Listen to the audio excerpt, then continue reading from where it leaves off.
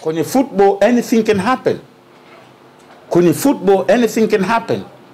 Muhimu wafanye vile ambavyo mpira unataka kufanya. Ni mechi of course itakuwa ngumu lakini kwenye mpira chochote kinawezekana. Even kushinda away inawezekana. Kwenye mpira chochote kinawezekana brothers. Wala hakuna ugumu. Wala hakuna ugumu. Wanao wachezaji wanaweza wakawapa matokeo hata kule sisi hatuna hatuna lugha hizo. Juzi nilimsikia kiongozi wa mmoja kwenye redio ya south africa.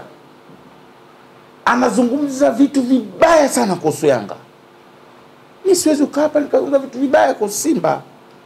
Tunafanya mengine ya utani lakini lazima niseme ukweli wanayo timu ya, ku, ya kufanya vizuri kuliko hata wanavyofanya.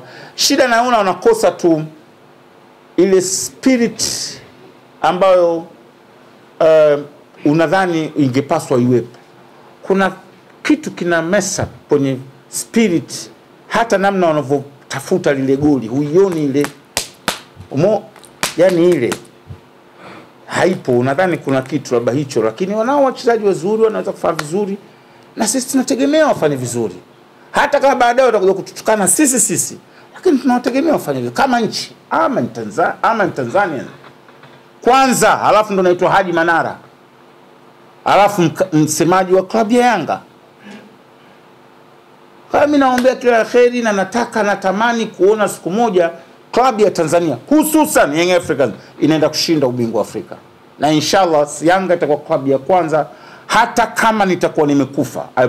Nawaahidi Yanga itakuwa klabu ya kwanza kushinda ubingwa wa Afrika. Yanga inajifunza sana kutokana na makosa, ndio kitu nilichokigundua huku tulipo. Yaani wao siku zote wanapoona wanakosea wanarekebisha, wanareke... hawa watu, kuna siku hili kundi likija lika click, halafu wao wanaamini katika dakika 90. Young Africans wanaamini katika dakika 90. Watu wanacheka Yanga imetolewa raundi ya kwanza msimu ulioua kwenye klabu bingwa Afrika. Yanga imekaa miaka minne ya kushinda ubingwa, wachezaji wapya, kocha alikuwa na miezi minne mitano, wamejipanga, hawajazoeana. First preliminary round imechezwa mwezi wa nane, si wa tisa mwanzoni.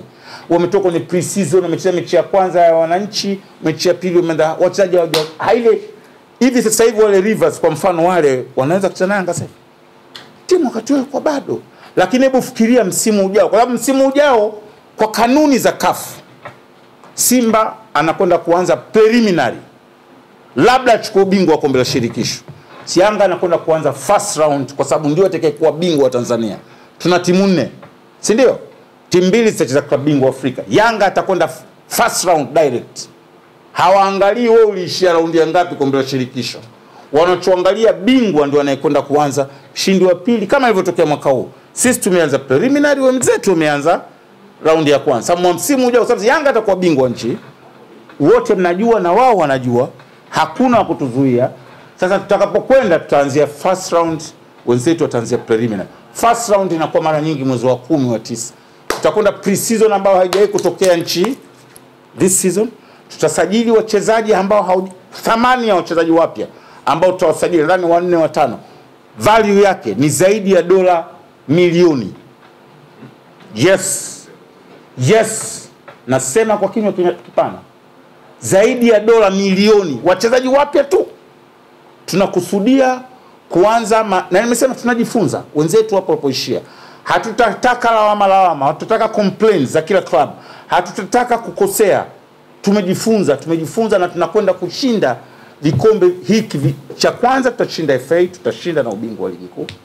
Tuna kikosi bora, kwa hiyo mimi kwangu, nikirejea kwenye swali lako, kila la kheri Simba kwenye mchezo wao wa away, na tunaamini sisi kama Watanzania wanaweza wakashinda, na inshallah Mungu awabariki washinde. Wakishinda wao, imeshinda Tanzania. Wakitutukana wao, tumetukanwa sisi. Asante.